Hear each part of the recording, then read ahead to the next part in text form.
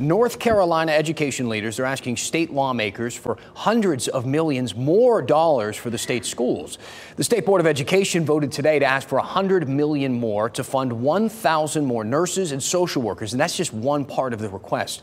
WRAL Education Insider Emily Walkenhorst is joining us now. Emily, uh, what exactly are they asking for in this request? So, one of the biggest parts of the request is the $100 million for more uh, school nurses and school social workers. That would be for schools in about 80 of the state's counties, the ones that are considered more economically distressed.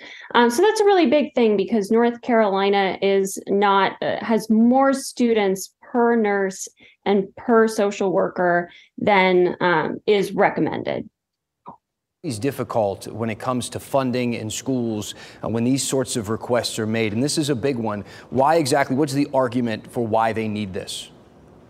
So the state for years has been at uh, the too high of a ratio of students per school support professional. And so, you know, you have teachers who might be administering um, certain things like medications to students and you know rather than teaching. And you know people really think nurses should be doing that work or um, maybe teachers are trying to help students with mental or uh, mental health or emotional needs and perhaps maybe a social worker or a school psychologist um, might be a more appropriate person for that.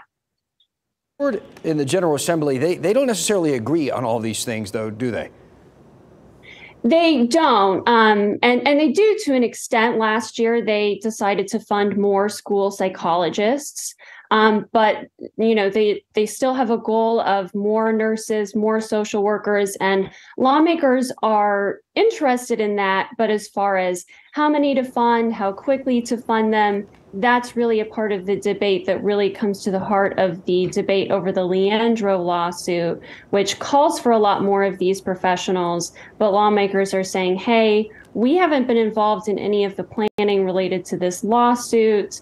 And, um, you know, we ultimately decide who, you know, how much to spend on schools and what we really want to fund. Do we know when we might get any type of answer here?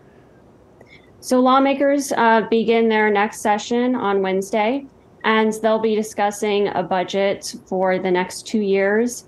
And they'll hear this request of 100 million more for social workers and nurses, and hundreds of millions more related to um, education adequacy lawsuits uh, like Leandro. And so we'll find out then. Emily, our education insider, thank you so much live via Zoom. And as she was saying, North Carolina has one school nurse for every 890 students and one school social worker for every 1,025 students. That's more than four times the recommended ratio.